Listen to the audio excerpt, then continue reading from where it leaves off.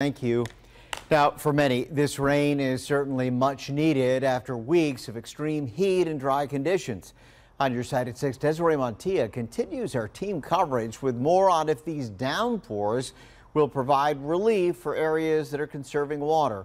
What's the Kurt, the Louisa County Water Authority tells me this rain is beneficial for their reservoirs and streams as they continue to monitor drought conditions while conserving water.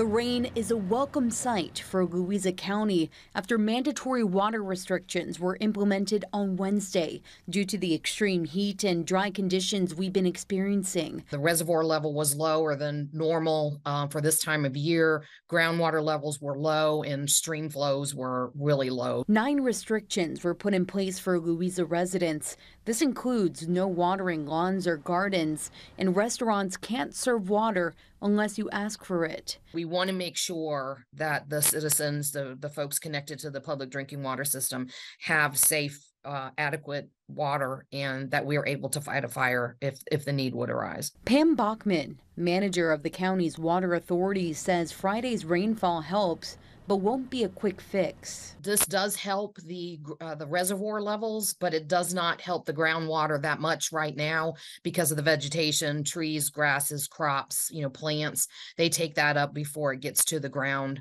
level. Earlier this week, Prince George County started asking residents to conserve water. And most of us were still in that moderate drought across our central Virginia area. 12 on your side meteorologist Ross Runner says this rain is beneficial but will not last long with temperatures soaring back towards the triple digits next week. As quickly as we get the rain, a lot of that is going to end up evaporating once we get those temperatures way up again. In the meantime, Bachman urges people to do their part to save water. I'm doing it in my household. Uh, we're we're we're cutting, washing full loads of laundry, not watering outside. You know, my grass was beautiful earlier this year. It's brown now.